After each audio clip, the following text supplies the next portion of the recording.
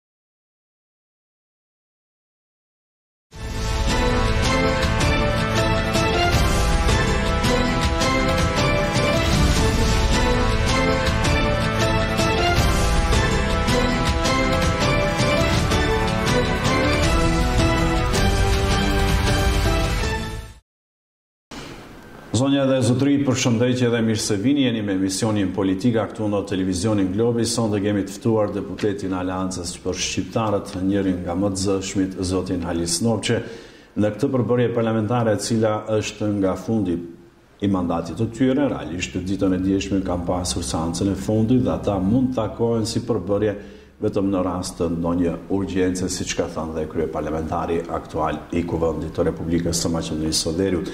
Ndërkohë me zotin Snopçe do të flasim edhe për zgjedhjet e dyfishta, ata të njëzet e katër prillit, raundi i parë presidencialeve dhe të dytin më tetë maj së bashku me parlamentaret. Kemi dy koalicione të mëdha shqiptare që ndodh për herë të parë, atë të Vlen ku bën pjesë dhe zoti Snopçe dhe atë Frontit Evropian ku nga dita e djeshme, ndoshta dhe nesër zyrtarisht do të bëhet pjesë e këtij fronti edhe Ziadin Sela, bashkëpartiaku i zotit Snopçe deri dikur. Për këto tema dhe gjëra të tjera me interes të përgjithshëm që po presin skenën politike ditëve në vijim do të jenë temë që do të flasim me zotin Snopçe. Faleminderit profesor, gjithmonë kënaqësi kur jemi bashkë në studio. Mirë se erdhët. Faleminderit, faleminderit për ftesën. Pra kënaqësia është e dyanshme sipas gjitha. Mirë, po e fillojmë me çështjen e dy koalicioneve të mëdha që u bënë tek shqiptarët Vlen nga njëra anë ku jeni dhe ju pjesë e saj dhe nga ana tjetër kemi Frontin Europian. Tani Me sinqeritetin më të madh po ju pyes, si ju duken këto dy uh, tabore që u ndanë? Janë të sinqerta apo për të ruajtur atë votën shqiptare që kemi thënë vazhdimisht apo sërish shihni interesa personale kush do fitojë deputete e kështu me radhë? Intenca jonë dhe qëllimi ynë është ishte që të unifikojmë faktorin opozitar shqiptar. Dhe mendoj që faktori opozitar shqiptar është unifikuar, Dhe kjo është gjeja kryesore dhe më e rëndësishme në këto grupime që themi ne, për shkak se duke nisur prej vitit 2011, kemi thënë, po e ripërsërisim për shikuesit e TV Globit dhe emisionit Politika, se që prej vitit 2011 partitë opozitare shqiptare kanë marrë kanë marrë më shumë vota se Bashkimi Demokratik për Integrim. Pra, në kuptimin që atëherë ishin në skenë politike RDK e profesor Rufi Osmanit, ishte partia e Imer Selmanit, ish ministrit të shëndetësisë, edhe PDSH-ja garonte atëherë si opozitë dhe nëse grumbulloheshin votat e këtyre partive gjithë opozitare kishin më tepër se BDI-ja. I njëjti skenar u përsërit në vitin 2016, ku Lëvizja Besa e unifikuar atëherë me Aleancën për Shqiptarët, edhe ne ishim bashkë atëherë, me RDK-n, ë dhe me PDSH-në atëshme, përsëri kishin më të tepër vota se BDI-ja.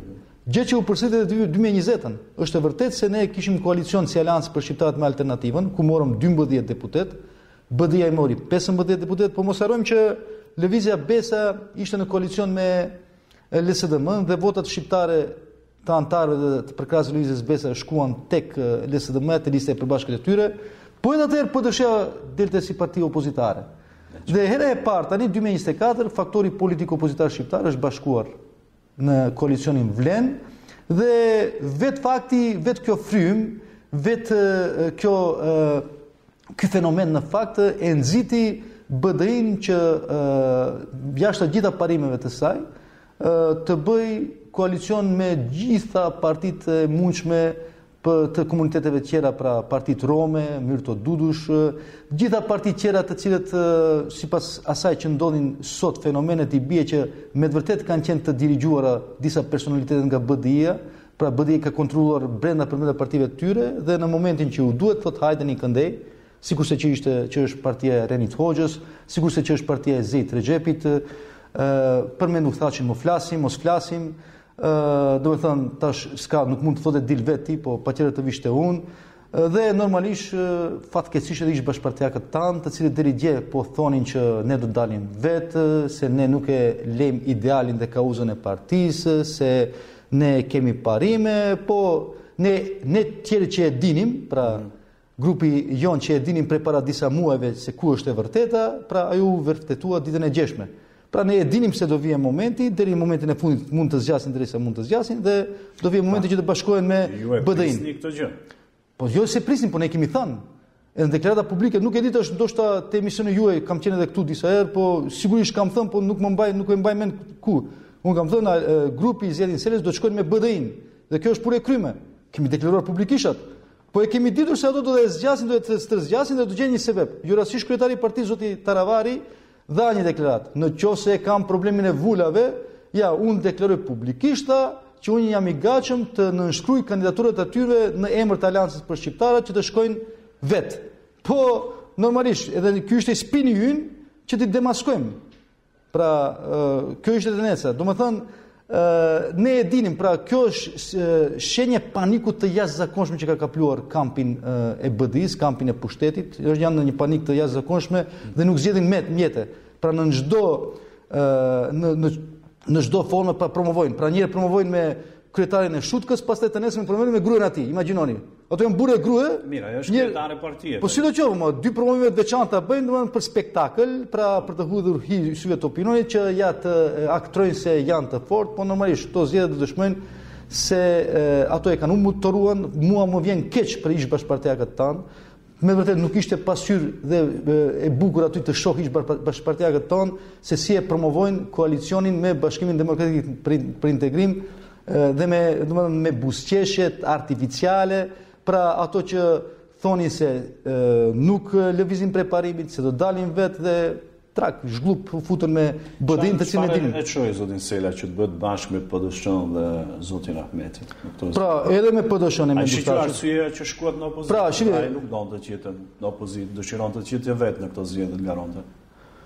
Nuk e di, shifni është, dëgjo, vetë fjala politikë, zoti Abedin, nënkupton angazhim për interesin e përgjithshëm, interesin shoqëror. Prej kohës së Platonit, pra filozofia e Platonit, polisi, pra interesi i qytetit, pra interes të qytetarëve, grupimi në një organizim politik e kështu me radhë, dhe kur themi fjala politikë, interesi i përgjithshëm, pra ju më pyetët për ish bashkëpartiakët tanë, çka i çoi ato, pra të deklarosh non stop se BDI është e keqja më e madhe e shqiptarëve të Maqedonisë dhe derisa është BDI në pushtet nuk do të ketë prosperitet dhe perspektivë të shqiptar për shqiptarët. Po. Dhe të bashkohesh me BDI-n dhe të tentosh të mbash në pushtet partinë për të cilën ke deklaruar ashtu, pra më kjo nuk është politikë më, kjo është parapolitikë. Të deklarosh se në këtë shtet nuk ka pas korrupsion më të madh sa që ka në kohën e BDI-së dhe nuk mund të ketë korrupsion më të madh, pra dhe të bashkohesh me BDI-n dhe të japish BDI-së mbështetje, të tentosh ta mbash BDI-n në pushtet, pra kjo nuk është më politikë. Kjo është parapolitikë. Pra të hysh në një front gjoja se evropian, që ato e proklamojnë se fronti evropian, po fronti evropian po kanë në listat e tyre zgjedhore kanë persona të cilët janë në listën e zezë të Amerikës, kuptoni? duke me një parti, të japish mbështetje një partie dhe të tentosh të përkrahish të mbetet partia në pushtet që asnjëherë nuk është distancuar nga Open Balkan dhe ti çdo herë ke kërku që Open Ballkani nuk është interes i shqiptarëve, se Open Ballkani është kali i Trojës nëpërmjet të cilit Serbia po instalohet në Maqedoni dhe të mbështetësh atë parti, më nuk është kjo politikë, kjo është parapolitikë. Pra, kur kemi një veprim parapolitik, unë nuk mund të gjykoj për arsyet. Mirëpo ne e dinim siç thashë, Prej para disa muajve ne e dinim se ato do të veprojnë ashtu dhe ja ditën e djeshme u verifikua. Për shkak se ato mundeshin të shtyjnë deri ditë disa ditë përpara caktimit të listave. Po. Pra kështu tentonin që të hedhin hi syve të opinionit, të mashtrojnë opinionin, të dalin vet e kështu me radhë dhe tentonin që të kapen për atë arsyen për atë sebepin që s'i kanë vulat. Po zoti Taravari demaskoi edhe në këtë këndvështrim se tha bujrum nëse keni probleme me vulat, unë nënshkruaj me vulat e Sela ju përgjigj, tha nuk është ai që vendos, nuk nuk është kryetari i partisë tha. Shini, kryetari i partisë është Arben Taravari. Mirë, do e vendos jo, jo. ata që ne presim gjithë se jo, do vendos. Domethënë, ne shihni tash. Ë për momentin sigurisht, përderisa ka vulat është dhe kryetar partie, por gjykata do të vendos. Shini, e drejtësia, e, drejtësia është një çështje historike. Ne edhe për fajtorët ne mund të gjykojmë në bazë të fajeve që kanë bërë në histori. Nuk mund të gjykojmë në bazë të një faji eventual që do të bëhet në të ardhmen. Ju lutem, Arben Taravari është kryetar partie me legjitim. Përderisa të ketë vendim, ne nuk e dim, nuk mund të paragjykojmë çka do ndodhë në të ardhmen. Po Arben Taravari është kryetar partie Në qoftë se gjykata sjell një vendim tjetër në të ardhmen, është një çështje diç krejtësisht tjetër, edhe pse nuk ka gjasa të tillë, po është një çështje krejtësisht tjetër. Prandaj, përderisa të kemi një vendim të tillë hipotetik që ju e parashtroni si pyetje, Arben Taravari është kryetar partie. Aleanca për shqiptarët është parti politike që ka kryetar Arben Taravari, që ka kuvendin qendror dhe ka kryesinë qendrore të saj. Ka edhe organe të tjera kongres e kështu me radhë. Dhe Arben Taravari është kryetar legjitim i cili nënshkruan dhe i vulos vendimet e partisë. Çka do ndodhë në të ardhmen s'e dimë, dhe në për hir të saj, për shkak se Arben Taravari është kryetar partie, ai e tha në qoftë se keni problem me siglën e Aleancës për shqiptarët, unë jam i gatshëm tha t'i nënshkruaj listat tuaja. Po ne e dinim që marrëveshja është arritur prej, prej moti, Po tash vetëm u verifikua atë që e dinim ne prej shumë kohësh përpara, prej disa muajve përpara. Formalizimi apo zyrtarizimi Absolutisht. saj pritet që të bëhet gjatë ditës së nesërme, ndërkohë që spektakle që po i përmendni dhe ju tha Zoti Ahmeti dhe Zoti Sela mbase do e fillojnë me Gostivarin dhe Zoti Ahmeti nesër ka paralajmëruar në ora 21 një tubim në Gostivar mbase aty do të jetë dhe Zoti Sela ta fillojmë fitoren tonë të madhe nga Gostivari. Si ju duken këto deklarata? Po se tash, thashë, gjithçka që bëhet, bëhet, bëhet një tentativë për të faktikisht mos them mashtruar, po për të hedhur hi syve të opinionit se gjoja se janë kompakt, gjoja se ka një lëvizje shumë të unifikuar, pra me personalitete shumë të dyshimta. Shini tash, këto flasin për frontin evropian, zoti Abedin, Edhe këtë do ta verifikoni pas disa ditëve. Flasin për frontin evropian, a dëshirojnë frontin evropian të promovojnë me gardën e vjetër të njerëzve të Gruevskit. Do të shihni, do të shihni kush do jenë kandidatë për deputet. Pak a shumë i kemi parë këto ditë. Po nëse janë të po. S'janë 100% të gjithë emrat, pra, por ato garda, janë kombinim për të fituar i Garda, garda e vjetër e Gruevskit dëshirojnë frontin evropian ta bëjnë me gardën e vjetër të Gruevskit. Në qoftë se këta kanë qenë suksesshëm, mm -hmm. pse nuk dalin në lista me asnjë prej ministrave që e kanë? Asnjë nga zëvendësministrat që e kanë? Unë nuk shoh në lista as koordinatorin e grupit parlamentar, as zëvendëskoordinatorin e grupit parlamentar, Pra nëse kanë të, kanë qenë të sukses, suksesshëm këta, meriton dikush të hyjë në lista. Pra, pra ne tash garda garda, ok, ok, ky është uh, opinioni im politik normalisht. Garda e vjetër e Gruevskit do të tentojë ta promovojë frontin evropian të tyre, që s'ka të bëjë me realitetin. Shihni. Promovojnë front evropian me një kandidat për president ë i cili në fakt kur ishin sanksionet e shteteve të Evropës dhe Rusisë nuk i zbatonte zbatonte sanksionet. Nuk u rreshtua as me Malin e Zi dhe me Shqipërinë bashkë. Maqedonia nisi të zbaton sanksionet tek mbas agresionit rus në Ukrainë. Imagjinoni. Promovojnë front evropian që kanë një kandidat për kryetar shteti i cili vizitën e parë e ka pas në Serbi dhe është taku me Vuçiç dhe me Daçiç, e jo me zotin Kurti dhe me zonjën Gërvalla. Promovojnë front evropian me një kandidat për president i cili ka qenë i pari që e ka ftuar ministrin e jashtëm të Rusisë për vizitë në Maqedoni dhe zoti Lavrov, ministri i jashtëm për Rusi, i Rusisë, vizitën e parë në një shtet të NATO-s E ka bërë pikërisht në Maqedoni dhe pikërisht me ftesë të Bujar Osmanit. Promovojnë Front Evropian ku kanë një kandidat për president i cili si kryesues i OSBE-së, sepse Maqedonia në vitin 2023 ka qenë kryesuese e OSBE-së, ashtu, kështë, organizatë për siguri dhe mbrojtje të Evropës, ndërkombëtare, i cili dy herë ka vizituar për shembull Ukrainën, nuk pa të arsyeshme asnjëherë të vizit të vizitojë veriun e Kosovës për shembull. Promovojnë Front Evropian me një kandidat për kryetar i cili asnjëherë nuk pa të arsyeshme të gjykojë sulmin terrorist në Banjskë në Kosovë, organizuar nga Vuçiç dhe e ekzekutuar nga Radoiçiç. Pra, asnjëherë s'e ka gjykuar. Të gjitha këto pra, më shpesh, më shpesh është takuar përgjigjur dhe thotë që nuk është kështu, dhe mbase në bazë të asaj të protokollit dhe detyrave të përditshme që ka, kështu ka rënë që të shkojë edhe në Ukrainë, të shkojë edhe në Serbi, të shkojë edhe në Kosovë, pak më vonë në Kosovë, fillimisht në Serbi, por është çështje të cilën ju e dini si shkon kur ke ekzekutivin dhe kur je ministër. E dini më mirë se sa ne të tjerët që mund t'i diskutojmë këto gjëra. Zoti Abedin. Ne jeni të lënë Zoti Zoti Abedin, jo, jo vetëm të vendos të gjykojë në bazë të asaj, ka qenë veprime të drejta apo jo ajo çështja e zotit Osmanit. Do flasim për presidentin pak më vonë. Më lë që të flasim edhe pak për çështjen e Jo, unë duhet patjetër të për shkak se më dhat një koment, unë patjetër të përgjigjem ndaj këtij komenti. Shkak se, për shkak se mos vjen puna se unë s'kam pasur të drejtë. Këto gjëra që thash unë janë fakte. Të që bëra unë është ajo që ai jo, okay, okay. personalisht dhe normalisht. Jo, okay, okay. Duhet të bëj një po, unë po, vetëm të jap një sqarim plotësues. Këto që thash unë janë fakte të pamohueshme dhe të pakontestueshme. Pra nuk shpika prej mendjes asgjë. Këto janë fakte. Çka thotë Bujar Osmani është çështje tjetër. Edhe mund të thotë çfarë të dojë. Po këto janë fakte të pamohueshme. Bile kur jemi te vizitat, Shiko, politika e jashme e Maqedonisë as pak nuk ka ndryshuar prej kohës që Bujar Osmani është ministër i punëve të jashtme. Pra, ka ngel e njëjtë, bile, bile, kemi shku mbas. Shihni, vizitat, kur themi, vizitat ndonjëherë janë simbolike. Japin porosi, posaçërisht vizitat e para. Tash ti je ministër i punëve të jashtme, çfarë protokolli flet ti? Vizitën e parë ta bësh në Serbi, të takohesh me Vuçiçin dhe Daçiçin. Ai ma shumë ka taku Vuçiçin dhe Daçiçin se sa Albin Kurtin. Po nuk e dim kush e ka ftuar i pari. Tani edhe kjo ndodh. Domethënë kjo kjo kjo gjë. Nga sebepi, kush fton i pari, Po unë vetë do të them unë do vij atje. Çfarë çfarë flasim ne kush ka ftuar i pari? Edhe ajde të shkoj Serbi unë i pari. Të shiko, te shqiptarët i mbajnë mirë me gjithë ka, shtetet e rajonit. Ka dy kategori shqiptarësh. Në këtë shtet. Kategori shqiptarëve ato që janë kundër Rusisë dhe Putinit deklarativisht, por kundër edhe Serbisë dhe Vuçiçit.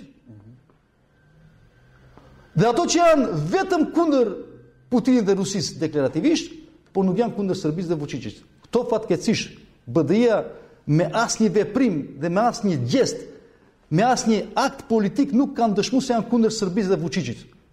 Fatkeqësisht, këto vetëm deklarativisht thonë se jemi kundër Putinit, kundër Rusisë, a nga ana tjetër, Onishçenkon këto i dhanë pasaport të shëtisë lirshëm me pasaportën e Maqedonisë, një oligark në listën e zezë të Rusisë, Daka Davidovic po ashtu një person i afërt me Putinin në listën e zezë të Amerikës, në listën e zezë të Amerikës, jo Rusisë. Në listën e zezë të Amerikës tentonin t'i japin parcela të majme në Tetovë, domethënë vetëm deklarativisht kundër Rusisë dhe Putinit, edhe nga ana tjetër më as deklarativisht s'kanë qenë kundër Serbisë dhe kundër Vuçiçit. Asnjëherë s'janë distancu nga Open Balkan, për cilin pra që ka qenë porta kryesore nëpërmjet të cilës Rusia depërton në Maqedoni. Sepse zoti Alemi, Ali Ahmeti me një deklaratë të tij publike tha Që ariu polar duke u referuar Rusisë është në çdo instancë të shtetit tonë. Pra ai tha në shoqëri jo qeveritare, në partitë politike, në ekonominë tonë, në infrastrukturën tonë e kështu me radhë. Po ne parashtrojmë pyetje publike në qoftë se Rusia paska depërtu në çdo instancë, çka ke bë ti 22 vite që e ke kontrolluar pushtetin si pjesë e pushtetit që ta pengosh atë. Mos është fajtore opozita shqiptare që ka depërtuar Rusia në çdo pore të shtetit. Pra, ti me çka, me cilën veprim ke pengu? E po ne e dim se s'e ke pengu, me kreditë e shpejta, me kazinot, që edhe Serbia depërton, me Open Balkanin, si tash, si por, si portë nëpërmjet së cilës Rusia depërton nëpërmjet Serbisë në Maqedoni, e kështu me radhë. Prandaj, Bujar Osmani mund të thotë gjithçka, Po këto që flas unë janë fakte të pamohueshme. Me frontin evropian bash po e dëshmon që po punon në këtë drejtim që të ndërpresë atë ndikimin le të Me cilën me njerëz të cilët janë në listat e zeza të Amerikës? Zoti Snopçe, po. Me njerëz të cilët janë në listat e zeza po, të Amerikës? Pse nuk duket diçka e arsyeshme kur shikon të gjitha ato subjekte politike të cilat turke, rome, mbase edhe boshnjake, që deri dje kanë dhënë votën te pala maqedonase sot po vijnë te shqiptarët. Jo, jo, nuk nuk e kontestoj. Për për për ato thash nuk thash gjë. Qartë. Për ato bile për partinë turke edhe ne kemi qenë të interesuar po. që të vijnë me ne, kemi dhënë ofertë. Bile oferta jonë ka qenë më e mirë se oferta e BDI-së, me pozicione më të mira, por ato e kanë përzgjedhur BDI-n. Çfarë arsye dhe çfarë shkaku është puna e tyre? Mhm. Për partinë turke kemi qenë të interesuar edhe vetë. Ka tre parti me, me part... dy janë sot që kanë shkruar në qoftë se s'gaboj marrëveshje me BDI-n, një që ishte disa ditë pak ma herët. Jo, jo ajo partia, partia demokratike turke. Partia demokratike turke, po, ne kemi pas ofertë, ka dy parti tjera turke për cilat kam njohuri, ama sot që lexova një parti turke për atë s'kam pas njohuri se ekziston. Aha, në rregull. Se tre parti politike turke janë legjitime. Është partia e bashkëqytetarit tonë Erdogan Saraç, është po. TDP-ja e Iljas Bejxhanit dhe është partia... Sali Murat. Jo Sali Murat, unë s'e kam ditë se Sali Murat paska parti. Po. Pra unë sot e lexova, është Enes Ibrahim, më duket është deputet në parlament, dhe ai ka parti, partinë e vet, që është po. deputet i përfaqësuar në parlament. Pra TDP-ja e Bejxhan Iljas dhe Enes Ibrahim janë të përfaqësuar në parlament. Po, e qartë. Tani, kur i bëjmë krahasimet mes dy koalicioneve, Pse duhet duket VLEN më i natyrshëm se sa Koalicioni Evropian? Ndërkohë që edhe ju vetë, dikush ka qenë pjesë e pushtetit, dikush keni qenë ndonjëherë, ndonjëherë bashkë jeni përça në momente më që keni qenë shumë të rëndësishëm për ju. Shih, më i natyrshëm. Më i natyrshëm është sepse, siç thashë në fillim, janë bashkuar forcat opozitare shqiptare. Një, më i natyrshëm është sepse ne s'kemi bagazh të kriminalitetit, të korrupsionit, s'kemi bagazh të pengimit të funksionimit të instancave shtetërore. Më i natyrshëm është që tek ne nuk ka arsye qytetarët që mos kenë besim se mund të lëvizim punët. Shihni, ë në politik ekziston faji politik dhe ekziston gabimi politik. Gabimin politik mund të bësh edhe pa qëllim. Mhm. Pra mund të bëjmë gabime, secili politikan bën gabime. Kuptoni aso, edhe ne kemi bërë gabime. Por faji politik është i qëllimshëm. Dhe faji politik nuk falet. Pra faji politik bëhet për shkak të imoralitetit politik. Si definohet imoraliteti politik? Imoraliteti politik definohet si mungesë e vullnetit politik për të lëvizur për punët përpara. Vullnet politik për të instaluar sistemin e mirëfilltë. Vullnet politik për të luftuar korrupsionin dhe krimin e organizuar. Vullnet politik për të mos u përzi në funksionalitetin e sistemit të drejtësisë. O zoti Abedin, ja, ju përmendët parëz vulat. Po e dini çka ka ndodhur tash me çështjen e vulave. Ai opinioni ta dijë. Lënda bie një gjykatëse. Tash s'e mbaj mend. Çohet kërkesë për zëvendësimin e asaj gjykatëse me një gjykatë tjetër, pa dhënë fare arsye. Kryetari i gjykatës e bën zëvendësimin. Bie në një gjykatë tjetër. Përsëri çohet kërkesë zëvendësimin e gjykatës së dytë. Përsëri ndryshon, bie në një gjykatë të tretë. Gjykatësi i tretë në momentin që e merr landën, shkon në pushim mjekësor. Dhe kryetari i gjykatës intervenon që të bjerë në gjykatën e katërt. Paramendo çfarë ndodh në sistemin gjyqësor në një periudhë shumë të shkurtë. Mirë. E tash, çfarë beson Mendija? Po ta mendosh pra, që pala do... tjetër ka gisht në këtë gjë që ndryshimi jo, i gjykatës vetë bëhet. Muhabet bëj për funksionin e gjykatës. Për shkak të asaj se afati përfundimtar për dorëzimin e listave në KSHZ të deputetëve është 2 prilli. Kështu që në sa ditë kemi 3-4 ditë, 5 ditë. Nëse tash e mbajnë punën, e mbajnë punën varur Sepse po të ishte gjykatësja e parë deri në momentin e pikërisht do kishte vendosur. Edhe po varet ju keni vula që do të garoni me logon në Alan, jo, jo, jo. pala tjetër. E mbajnë punën varur për shkak se e dinë ku është e vërteta, e dinë ku është e drejta dhe nuk lejojnë që ajo e drejtë të merr vendimin e duhur. Mm -hmm. Prandaj kur kur, kur ambasadori i Shteteve të Bashkuara të Amerikës e etiketon një shtet ku mbizotron pandemia e korrupsionit, Ku në këto gjykata që përmendim unë dhe ju bashkarisht këtu, ka besim vetëm 2% e popullatës. E 2% e popullatës do të thotë 1% janë punësuar nëpër gjykatat e shtetit. Mund të imagjinoni. Pra, kur thotë pandemi e korrupsionit, çka duhet bëjë shteti? Shteti duhet të merr masa. Çfarë masash? Duhet t'i ndëshkon disa njerëz të cilët kanë qenë të korruptuar ose duhet të izolon, ku izolohet? Izolohet në burgje. Në mosmarrjen e masave nga ana e shtetit vjen merr masa vetë Shtetet e Bashkuara të Amerikës dhe e caktojnë listat e zeza po. që të izolojnë së paku në Amerikë mos hyjnë. Dhe ne kemi njerëz në listat e zeza të cilët do të jenë kandidat për deputet te lista e Frontit Evropian. Imagjinoni çfarë paradoksi. Imagjinoni çfarë paradoksi. Edhe tash ne flasim në emër të Frontit Evropian. Pra këto janë paradokse. Gjykatat vetëm 2% ja unë do t'tregoj një shembull, Olaf, Organizata Botërore kundër Mashtrimit.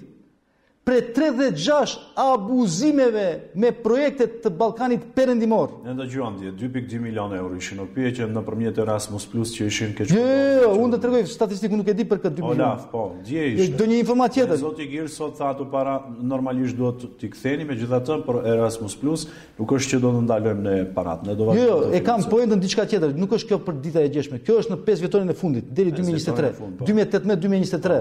Po, po. 36 po. lëndë me abuzime dhe keqpërdorime të fondeve evropiane tek shtetet e Ballkanit Perëndimor. Qartë, qartë. E dini sa janë prej Maqedonie?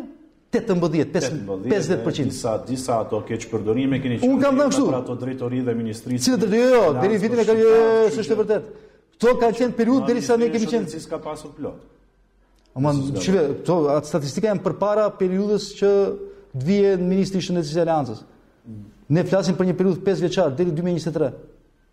Ne flasim për një periudhë 5 vjeçare, deri 2023. 2023 ju keni qenë... Deri 2023.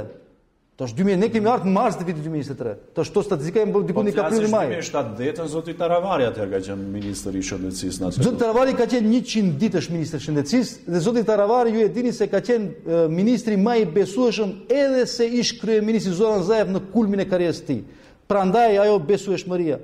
Komunat që udhëhiqen nga ne kanë qenë komunat ma transparente, nuk themi ne, po atë në bazë të parametrave të organizatave me relevancë. Po. Pra, e siç thashë, 50% të keqpërdorimi në Maqedoni. Prandaj jemi izolohemi për korrupsion.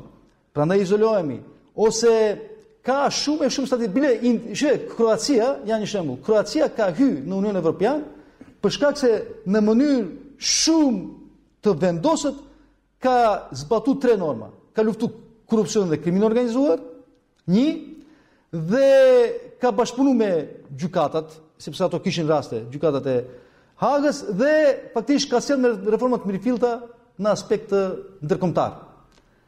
Pra, Kroacia, kur themi Kroacia, në kuptimin e arritjes së këtyre vlerave. Edhe, normalisht, e dyta, e dyta, instalimin e vlerave të mirëfillta demokratike në shtet. Ne, Me korrupsion jemi lider. Shihni, prej 666 rasteve të hapura, vetëm një është zgjidh në Maqedoni, 0.015%. Unë them, shpeshherë përdori kështu 0.015% neve na asocon fitimi në loto, në lojëra fati, po janë raste të zgjidhura në Maqedoni. Janë një krahasim me Shqipërinë. 2022, prej 237 rasteve të hapura, 228 janë zgjidh. Janë burgos policë, gjykatës, prokurorë, ish funksionarë, ish ministra. Ashtu ka qenë. Çka kemi vepruar ne? E kemi liruar nga burgu.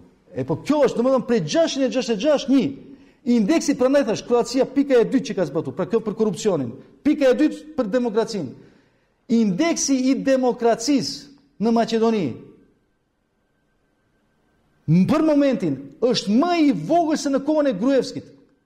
Për momentin është 3.86 në kohën e Gruevskit ka qenë 4.04, 4 e kështu me radhë. Mm -hmm. Pra imagjinoni edhe në indeksin e demokracisë ne biem, a lere më në këto pjesë tjera. Prandaj çka shohim ke ne?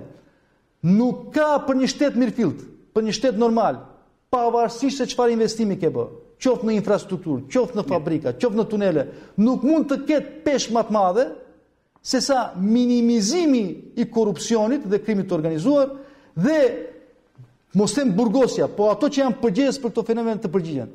Fatkeqësisht e ne edhe nëse lavdrohemi me infrastrukturë lere se s'ka pas. Investimi i fundit infrastrukturor në regjionin e Pollogut ka qenë në vitet 90 të shekullit të kaluar, rruga Tetovë-Gostivar. Lere se s'kemi pas. Bëhet tani. Po, po rregull, vit pas 35 viteve. Po bëhet. Okej. Okay. Po tha shekullin e kaluar ka pas. Po, investimi i fundit. Po, po dhe kjo. Po çka ka çka? Që, rruga Tetovë-Gostivar është rruga ma frekuente në shtet mbi 14500 vetura në ditë.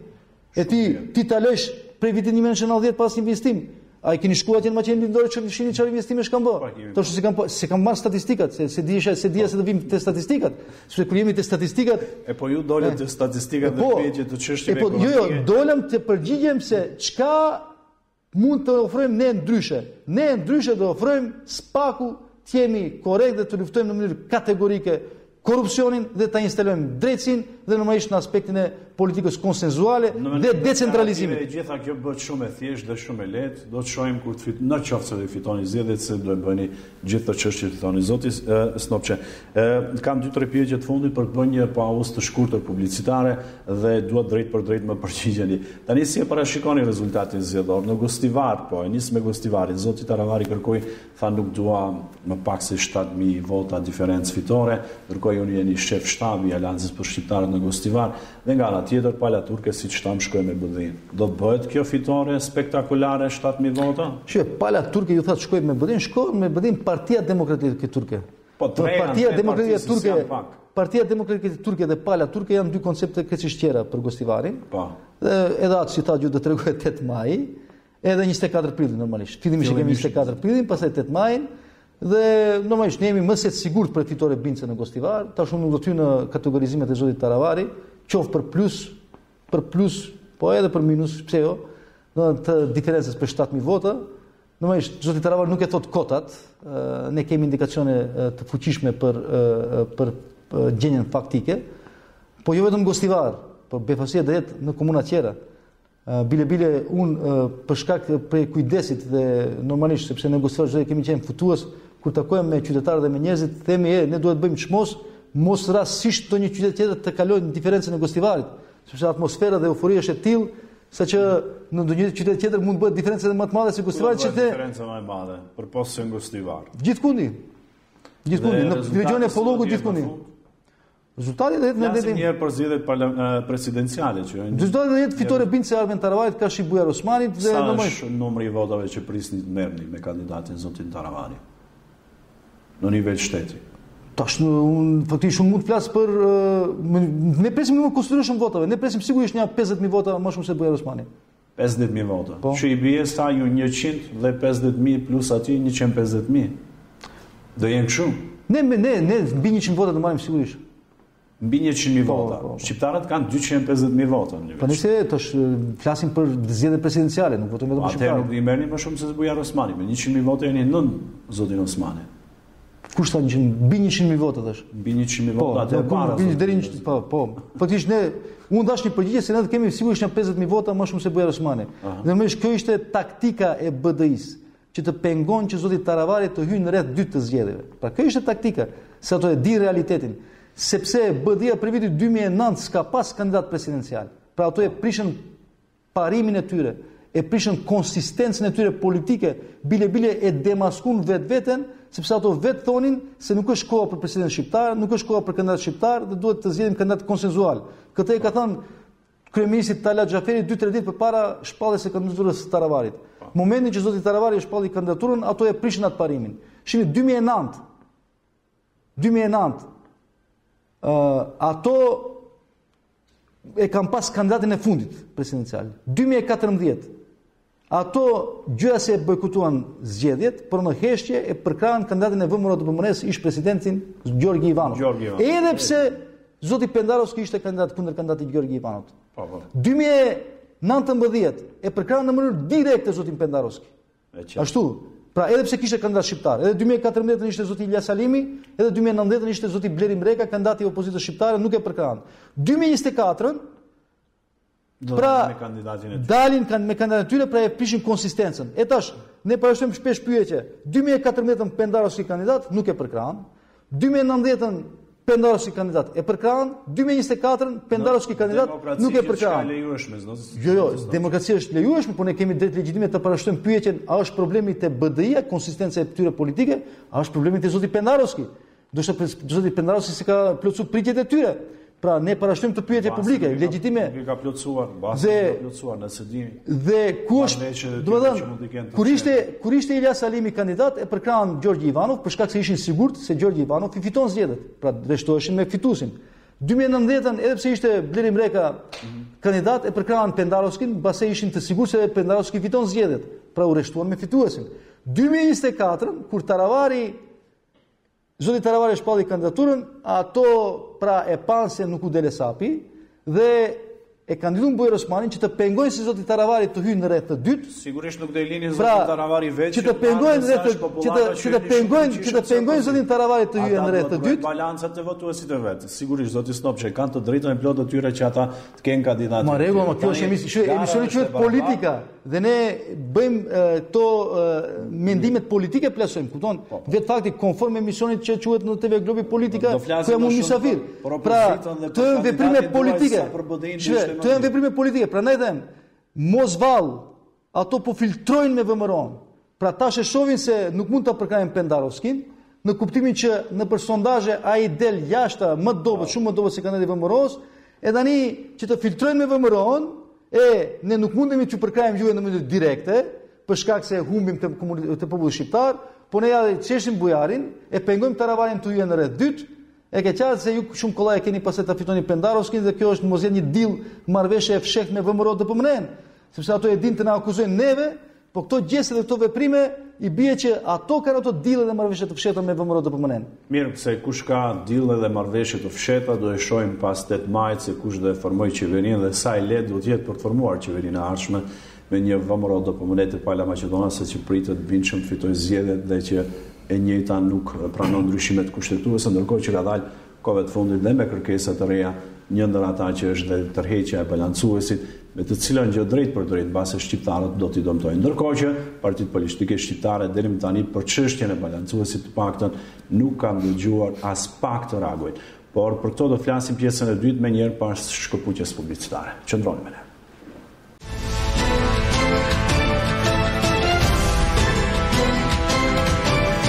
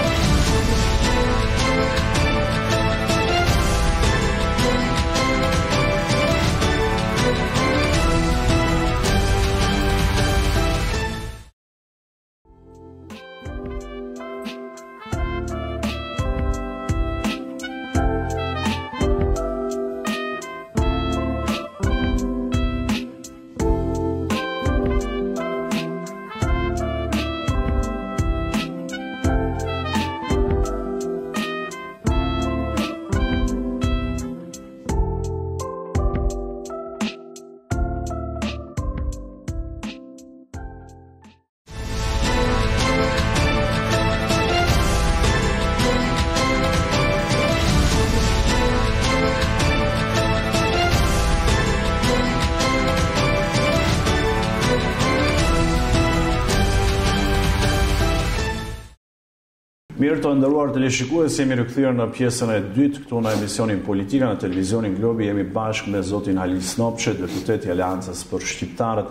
Zoti Snopçe, e lamë me çështjen e presidentit, më shumë fokusi te presidenti dhe e se kush i fiton zgjedhjet në aspektin të presidentit më 24 prill. Por ajo që është pritshmëri e qytetarëve nga këto zgjedhje të cilat janë së bashku dhe me parlamentarët janë si do përmirësohet statusi i tyre, mirëqenia ekonomike, çështja e korrupsionit që përmendëm, arsimi, shëndetësia të gjitha këto VLEN pse akoma nuk ka një platformë publike që të shohim si do, si do jetë, si do e bindë fjala më e saktë votuesin shqiptar që të votojë për ju. Shiko, programi politik është gati. Se normalisht ne praktikisht vetëm duhet të printohet, të shpërndahet, por ne e dimë se fushata zgjedhore nuk ka nis ende. Po ju nuk flisni për këto tema në publik akoma. Si nuk flasim? Shumë pak. Më shumë flitni për akuza ndaj BDI-së, ndaj atë asaj që bën BDI-ja deri tani. BDI-ja çfarë ka bërë 22 3 vite, gjithë e kemi parë, gjithë e dimë, gjithë jemi dëshmitarë. Nuk e di, pra ne kemi thënë, pra çka kemi thënë, pra Kemi thënë që gjeneratori i krizës në Maqedoni është kushtetuta për shembull. Qartë. Pra, ne duhet faktikisht Vendit i duhet një kushtetutë e re. Pra, kemi thënë të angazhohemi për një kushtetutë e re sepse nuk varet vetëm prej nesh. Kjo është një, dy, po. çka ka tek VLEN? Ne kemi thënë që ë pra unë e kam cituar në paraqitjen time publike të fundit, për shembull, edhe zoti Taravari e ka potencuar se që prej kohës kur u suall marrëveshja e Ohrit, prej kohës që u soll Marrëveshja e Ohrit. Zoti Arbër Xhaferi ka thënë publikisht në ato biseda me bashkëbiseduesit maqedonas. Ai ka thënë në qoftë se nuk dëshironi që shqiptarët të kërkojnë ndonjë autonomi ose mos vijë deri te kantonizimi e kështu me radhë të shtetit tonë, pra të jemi vazhdojmë në një shtet unitar të përbashkët gjithë së bashku, ë duhet që së paku të ketë një decentralizim mirëfilltë të vetëqeverisjes lokale. Së paku komunat të kenë pushtet më të madh që mund të veprojnë dhe mund të mund të arrin mhm. pra realizim arritjen e rezultateve të duhura në infrastrukturë, në politikë kështu me radhë. Shihni 1974. Kushtetuta e 1974 jo vetëm që lejonte që gjuha shqipe të jetë zyrtare bile me gjuhën turkishte. Përveç maqedonishtes, e dini, ha? Po lejonte komunat ishin shtete dhe minishtete në vogël, të vogla. Kishin ingerenca në polici, në shëndetësi, mos flasim në arsim, në gjitha poret. Në gjykatë kështu. Tani komunat janë bashkësi lokale, zoti Abedin. Dhe pse një ndër shtyllat kryesore të marrëveshjes së Ohrit ka qenë decentralizimi, pra 25 vite, nuk janë bën 25 vite, 23-4 vite, e ende s'kemi asgjë prej decentralizimit. Ne vazhdojmë të jemi shteti më i centralizuar në Evropë. Si do e bëni decentralizimin? Po normalisht ashtu siç e kërkoni ju. Shihni, ajo bëhet hap pas hapi. Pra, ne nuk mund të bëjmë menjëherë... Si do të jetë hapi i parë, për po të shuar në dritin? Hapi i parë është disa taksa që hyjnë në, në nivel qendror, një përqindje të konsiderueshme të atyre, të nisin të hyjnë në nivel lokal. Mhm. Se shihni, komunat funksionojnë me para.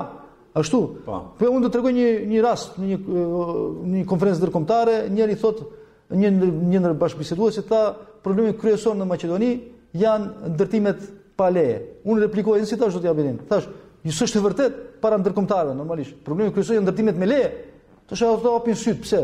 Po ndërtimet me leje sepse të hyrat kryesore të komunave urbane në shtetin tonë janë prej dhën prej dhënies së lejeve për ndërtim. E normalisht kur ti s'ke hyra të tjera, Edhe prishet infrastruktura dhe urbanizmi nëpër komunat urbane për shkak se kryetarët dëshirojnë të kenë të hyra që të funksionojnë. Ashtu, ky është problemi kryesor. Pra, paradoksale, por kjo është e vërtetë. Po, po. Pra, hap pas hapi duhet bëhet kjo punë. Pra, decentralizimi. Shihni tash, hajde tash, tash më fal për politikë, po ne flasim për politikë. ë ka ligj në Maqedoni, zoti Abedin. Ligj që për regjionet Zhvillim barabartë regjional duhet nda 1% të GDP-së, buxhetit të përgjithshëm shtetit. Nuk ndahet. Nuk ndahet.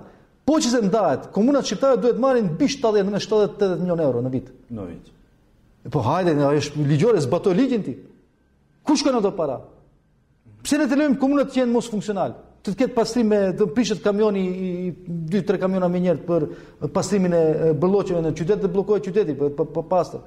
Pse komuna një mos ket një buxhet së paku ose me me me me me me kanalizime ujësjellës e, asfaltime kështu me radhë. Si do të bëhet? Po e dini be sa janë investimet kapitale për Gostivarin, për një komunë një ndër komunat më të mëdha në shtet? Vetëm 2 milionë euro Arben Taravari mund të investon për investimet kapitale në vit. 2 milionë euro është një shtëpi moderne luksoze në Gostivar. A është ashtu? Pra, prandaj domethënë zbatohet ligji, s'ka diçka filozofike këtu. Zbatohet pjesën e ligjit për ndarjen e zhvillimit barabartë regjional. Se unë shpesh them, tash prapë do hym politik, po unë patjetër të them. BDI-ja lavdërohet se kemi pas shumë pushtet, është e vërtetë. Në kohën e fundit kemi pas shumë pushtet, po a ja kemi pa hajrin atij pushteti? Shini, prej vitit 2014 ne kemi ministrat e ekonomisë. Ishte zoti Kuçi, Saraçini, tash Kreshnik Bekteshi. Po komunat, regjionet shqiptare vazhdojnë të jenë regjionet më të diskriminuara në shtet. GDP-ja për kokë banori në Pollog është 100% më e vogël se mesatarja shtetërore. Zonat e lira ekonomike në Tetovë gjenerojnë 29 vende pune në 10000 banor, krahasuar me Shtipin 130 vende pune në 10000 banor. Shtipi është komunë shumë më e vogël se Tetova. Por këto janë fakte të pamohushme. Pollogu përbën 18 për qind të popullatës së përgjithshme në Maqedoni, e nga ana tjetër investimet te zonat e lira ekonomike tërhekin vetëm 2 për qind në Pollog, në nivel shteti. Papunësia më e madhe është Pollog, e kështu me radhë. Çka kanë bë këto ministrat? Ose ministri i financave, kemi pas ministrin e financave vite me radhë, e ndryshoi formulën për ndarjen e TVSH-së. E ndryshoi formulën i hoqi qytetarët jorezidentë. Që ne jemi gostivaras. Gjysma e qytetarëve të Gostivarit jetojnë jashtë shtetit. Gjysma e parave të TVSH-së që mundeshte të marrë Gostivari, u hoqën. E kemi pas ministrin e financave, po kota, ai ai ndryshoi formulën. Çfarë se kemi pas ministrin e financave? Mos flasim për ministrat e arsimit. Po e dini se katandisura janë, do në librat, mos, librat e muzikës si janë, po ne pse mos i ndryshojmë këto? Ka disa gjëra që t'i garanton ligji, qëve, si arsimtarët, arsimtarët, arsimtarët dhe profesorët shqiptarë, që kanë materiale të gatshme, nuk guxojnë t'i botojnë materialet e tyre për shkak se duhet të përkthehen në maqedonisht. Atë do ta ndryshojmë që unë zotohem? Unë garantoj se ajo pjesë e ligjit do të ndryshohet, se do të lejojmë që arsimtarët e mësuesit shqiptarë, profesorët, shkollë teknike, kemi shumë profesorë që kanë materiale të gatshme, s'un i botojnë. Se a do të lejojmë shqiptarët që të botojnë, se ligji nuk i lejon e kështu me radhë. Pra, edhe pse kemi pas ministrin e arsimit, investime kapitale do ketë në rajonet shqiptare me VLEN me ardhjen e saj, hipotetikisht në qeveri, Dhe sa vende pune të reja premtoni? Shi ve, tash unë nuk mund të premtoj që para shikoni. Kadalë tash. Ti ju flitni në mënyrë kumulative sa vende të lira. Ne kadalë kadalë hap pas hapi, duhet të ndryshojmë këto parametra. Pra kjo është një proces. Të gjithë ne në mënyrë ekstreme nuk ka shansa të ndryshohet. Po hap pas hapi të ndryshojmë, do të marrim masa. Ky 1% që patjetër të realizohet.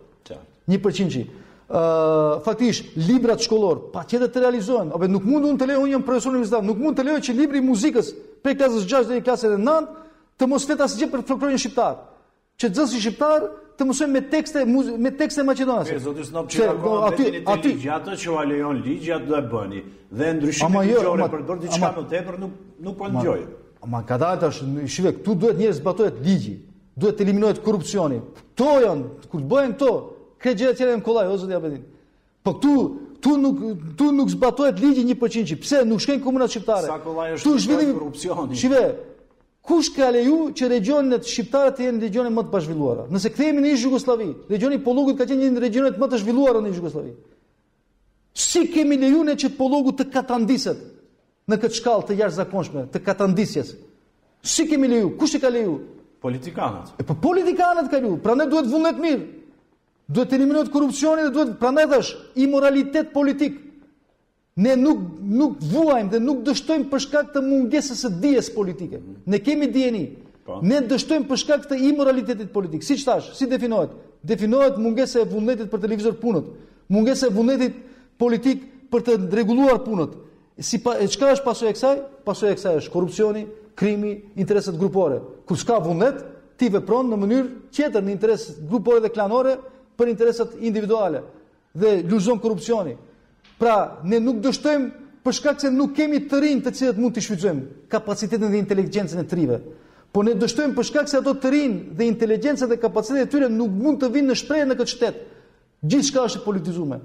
Ne politikën e kuptojmë se uh, un kam i kam fitu zgjedhjet dhe un kam të drejtë të menaxhoj me gjithçka si du vetë, duke eliminuar vlerat, duke eliminuar intelektin, duke eliminuar kreativitetin, duke eliminuar energjinë rinore e kështu me radhë. E prandaj vin korrupsioni.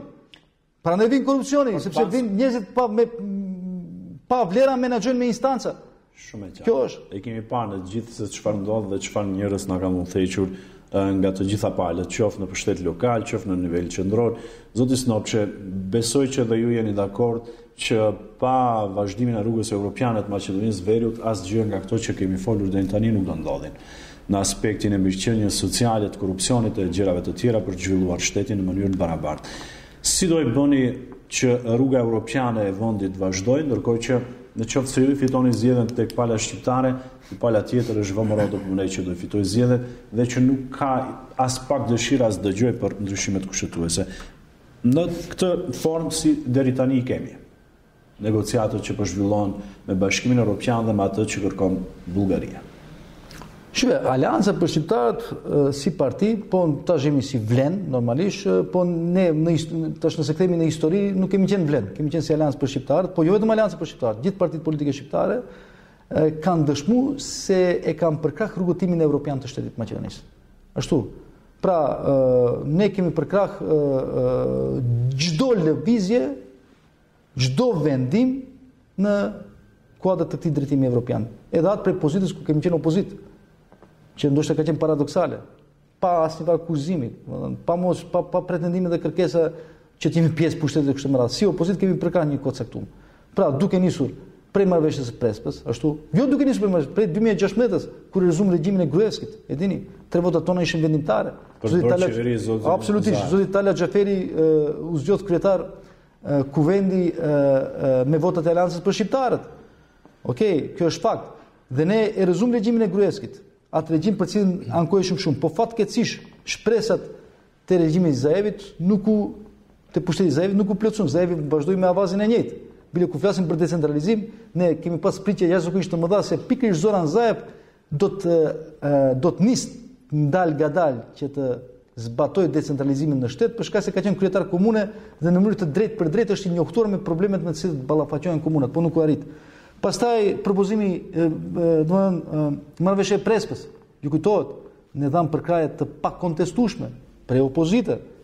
Pastaj zgjedhja e presidentit Pendarovski, ku dikush tentonte që të bëhet kriz në shtet, shteti të ngel pa president. Ne nuk i bojkotuam zgjedhjet për president. Të kishim bojkotuar, mundeshim të jemi pjesë të bëjmë krizë në shtet, ju kujtohet. Dhe mos flasim për propozimin francez, i cili në fakt është propozimi i Unionit Evropian, po ashtu u emërtua në atë kohë si propozim francez. Prej opozitës kemi votuar pikërisht për të dhënë impuls ndryshimeve kushtetuese.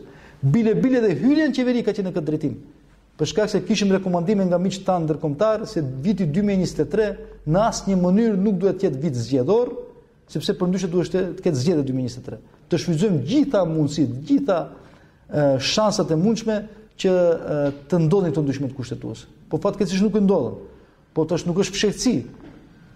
Gjithë ne, po hajde të referohemi te liderët, se liderët janë ato personat kryesor që udhëheqin me partitë politike. Tash VLEN-i ka katër liderë, ashtu. Gjithë sa e di unë kanë deklaruar publikisht që VLEN-i si koalicion nuk do të jetë pjesë e shumicës së re parlamentare pa garancë se do ndodhin ndryshimet kushtetuese si kushti vendimtar për nisjen e negociatave. Kjo garancë do të merret para se të formohet qeveria apo pasi të formohet qeveria?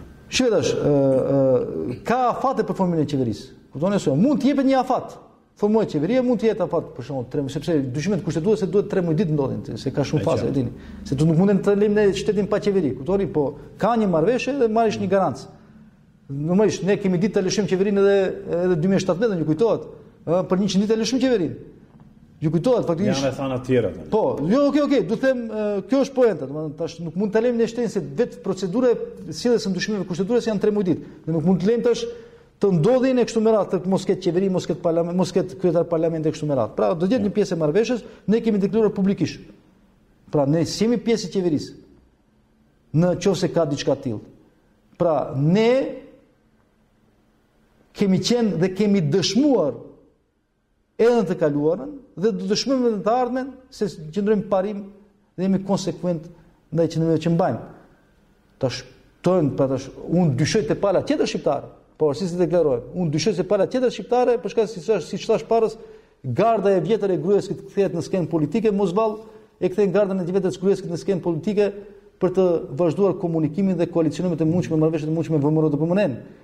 Pra më të afërt ato janë me VMRO DPMNE se opozita me definicion opozit, që është tash që ashtu është. Opozitë me opozitë. Po VMRO DPMNE thotë se pra, këto janë konstatimet e mia politike në fakt, normalisht. Zoti Sela, do që t'ju pyes edhe për çështjen e balancuesit që e plasoi lideri i VMRO DPMNE zoti Hristijan Mickovski, që thotë që patjetër duhet të shfuqizohet, ndërkohë që edhe Kovaçevski në qoftë se s'gaboj ditën e djeshme, kishte një prononcim, nuk është që kundër kësaj idesë së zotit Mickovski që të tërhiqet, por thotë duhet një formulë e re për t'u zgjidhur që të balancojmë sërish mënyrën e punësimeve në të ardhmen në vend. Pse pala shqiptare nuk reagon për këtë çështje? Unë ne kemi reagu, tash nuk e di prej nga ky konstatim se nuk reagon, ne kemi thanë se dy shtyllat e demokracisë konsensuale në këtë shtet, janë Badinteri, dhe balanseri. Dakord, balanseri ata nuk mund të ndryshohet balanseri pa dritën jeshile nga ana e shqiptarëve.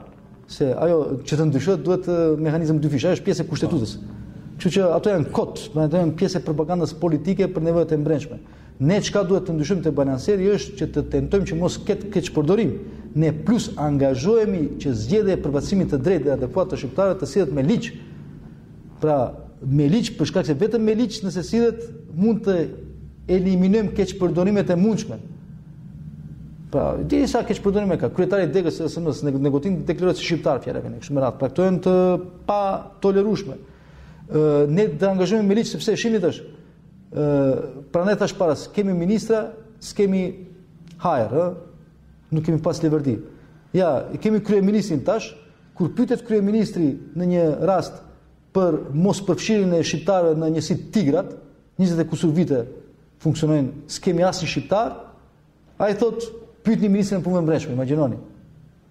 Pra pyetni ministrin e punëve mbrendshme pse në njësi tigrat s'paska shqiptar.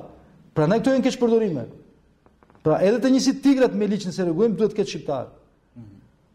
Edhe në Akademinë e Shkencave, prej 63 punësuarve vetëm një shqiptar kemi. E dini ju këtë a jo?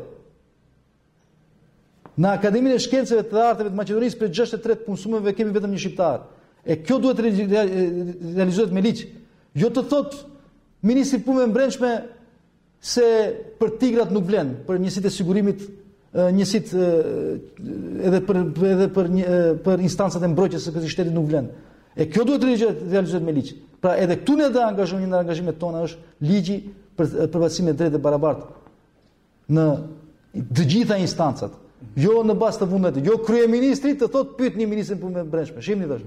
Pyetni ministrin e punëve mbrendshme, ose shkon në Pallçisht të thotë nuk di se paskeni punë me ujin për pije. Prandaj duhet konkret. Prandaj u them e përsëri e citoj zotin Arbën Xhaferi kur thoshte një herë në histori, më mirë një ligj të mirë për shqiptarët se sa një post. Me një post ti e kënaq egon e një personaliteti dhe nëse ai nuk vepron në të mirën tande, të popullit tand, të s'ka hajër. A me ligj ne mund të sjellim të mira, ashtu siç arritëm të sjellim për shembull me ligjin e shtetësisë Fjala vjen.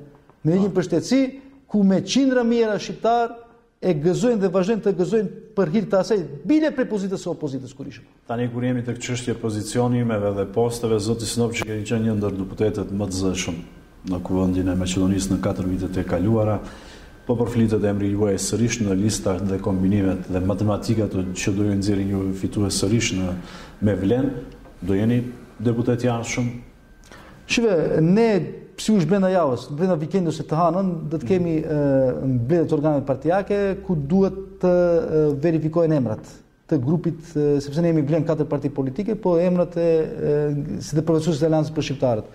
Unë edhe në një emision tjetër me juve bashkë, zoti Abedin më kujtohet, më parashtruat pyetje të ngjashme, thashë, në një moment të tillë, se nëse kthehemi histori para një viti, sigurisht s'kam pas ambicie, por në një moment të tillë, ku ndahet shapi nga sheqeri, sapuni nga djathi, e unë kisha thënë edhe vlerat nga antivlerat, duhet të marrim edhe përgjegjësi.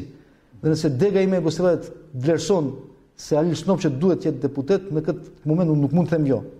Nuk mund të them jo, të ketë një vazhdimësi dhe një kontinuitet, për shkak se janë bërë shumë ndarje në këto momente dhe në kuadër të këtyre ndarjeve duhet të reflektojmë se ë ky grup i opozitarizmit, ky vle, grup vlen, pra është grup i cili duhet të marrë përkrahjen dhe mbështetjen e popullit dhe ne jemi jemi të bindur se do të arrijmë dhe në kuadër të kësaj nuk mund të iki prej përgjegjësisë nëse Nëse bashkëpartiakët e mi, Dega e Gostivarit, më japin mbështetje dhe kërkojnë diçka të tillë prej meje. A më vjen keq që në fillim premtova që do flasim pak më shumë dhe për çështjen e Kuvendit, po s'na met kohë, tani në fund që jemi dhe pyetjen e fundit e kam për. E këto raste, këto raste që të japin, këto raste më mirë të nisish prej fillimi me ato pyetje. E mendoj se nga fundi. Që më pak me interes për publikun dhe i lashë në fund që mbase do të kishim kohë, po nga që po. statistikat nuk janë dhe matematika s'i bën dot ashtu siç ndonjëherë i parashikon. Zoti Sobxhe, kjo përbërje thashë dje ka pasur seancën e fundit dhe mund të takoheni si deputet vetëm në raste urgjente. Si do e kishit vlerësuar punën e këtij kuvendi, kësaj përbërje parlamentare të katër viteve të kaluara, ku ju keni qenë pjesë e saj? Po po, kemi qenë pjesë, 10 muaj kemi qenë pjesë e pushtetit, 3 vite kemi qenë opozitë, opozitë shumë konstruktive, mendoj unë, opozitë që ka folur me fakte dhe argumente, Opozitë që ka ngritur zërin për gjitha çështjet, ë Po tash kjo ishte përvoja ime e parë. Tash nuk mund të bëj krahasimin me parlamentet e kaluara. Kupton, ishte një përvojë e mirë të shoh se si funksionon si sillen ligjet, si funksionon parlamenti, si funksionojnë raportet me qeverinë e kështu me radhë. Po normalisht, ë ka pas sfida. Ka pas sfida për shkak se fillim ne shkum me maskat, kujtohet, hynëm në parlament, ishte Covidi, po, e mbajtëm mbledhjen n'atë sallën e madhe që quhet salla e kristaltë, pas një periudhe shumë pas fillimit u transferuam te salla origjinale. Ë uh, unë e mbaj mend pra e përmenda ligjin e shtetësisë që ishte sfidë me orë të tëra rrinim deputetët e aleancës për shqiptarët të nënshkruajmë amendamente për shkak se vendosim se do të bllokojmë kishte një mekanizëm për të bllokuar parlamentin sepse ne konsiderojmë se është një një gjë e natyrshme që i takon shqiptarëve dhe e bindëm të gjithë se dhe detyruam edhe qeverinë e atëhershme se ne ishim opozitë që të sjellim ligjin për shtetësi. Më kujtohet betejat e ashpra për ligjin për regjistrim. Kujtohet, më kujtohet betejat tona të ashpra që mos ndalet regjistrimi, mos ndalet fryma Ajo euforia që u krijua në diasporën shqiptare ku 204.000 shqiptarë ishin regjistruar dhe pastaj u ndal, u shty për një 3-4 muaj dhe pastaj u u, u, u ndal ai hov dhe jemi të gjithë fajtorë, jo ne. Unë edhe këtu e fajësoj me të madhe BDI-n që pamundësoi që qytetarët të regjistrohen. Shihni, imagjinoni Gostivari ra prej 80 e diçka mijë banorë në 59000 e diçka banorë. Pra për 20 kusur mijë banorë, nuk mundet ato banorë mos janë, por ne i pamundësuam të regjistrohen. Dhe ky është faj, edhe ky është faj historik. Pra këto janë ato faje dhe gabime politike. Nuk është gabim politik. Ky është faj politik që nuk falet. Faji bëhet qëllimshëm, gabimi bëhet pa qëllim. Prandaj pra regjistrimi, më kujtohet avokati i popullit Beteja, ajo ironia jonë, tallja jonë ato spinë që lëshoshin për shembull kandidati për kryetar shteti, e për kryeministër, kryeministri parë shqiptar, u bë avokati e, popullit.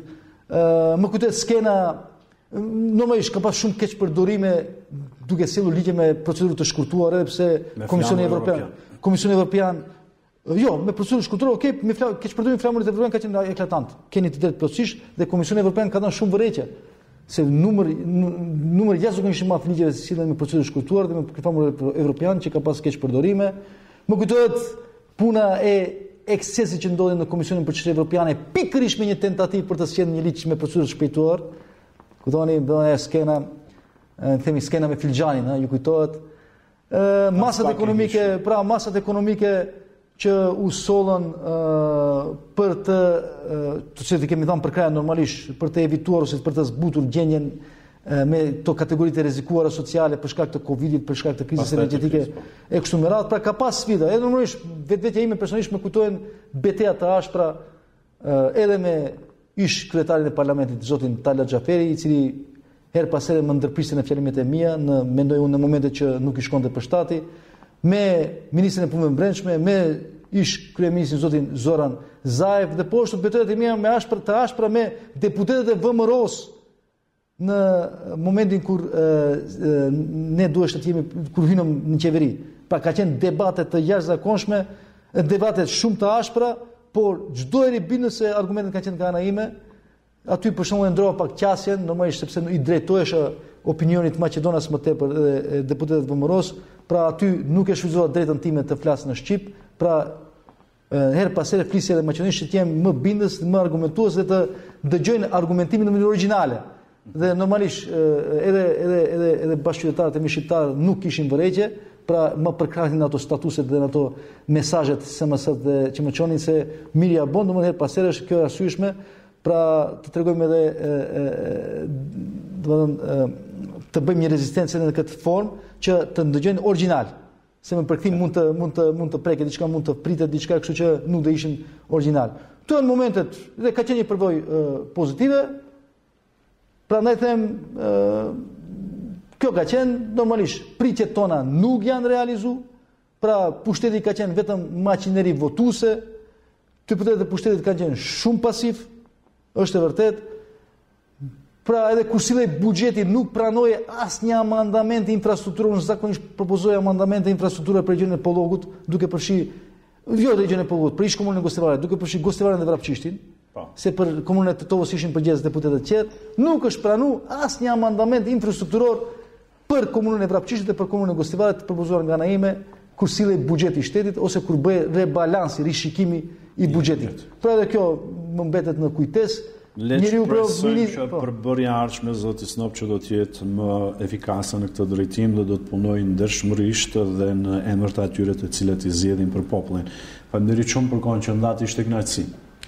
Faleminderit për mundësinë. Pra, edhe një të përmbyllim të përmbyllim në këtë formë. Kur je opozitë, Ndoshta njerëzit të thuan se kollaj e ke vetëm kritikon. Është e vërtetë të jesh opozitë ma kollaj se nuk e kemi atë mehanizmin, ne kemi vetëm mehanizmin e e kritikës. Kur je në pushtet është ndryshe.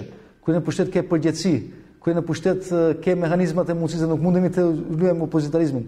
Unë besoj që në mandatin e ardhshëm do të jemi në pushtet dhe ne, do të mundeni të na kapni drejtpërsëdrejti dhe të diskutojmë drejtpërsëdrejti për punët e realizuara dhe punët e kryera. Pra, shpresoj që mbas 8 majit do të shihemi ne ndoshta do të shihemi edhe përpara 8 majit, por mbas 8 majit do të shihemi në formë gjithsesi do të shihemi jo si opozitar, po si pjesë e pushtetit dhe si pjesë e pushtetit që ka marrë përgjegjësi. Opozitës në ftesë duhet bëhen.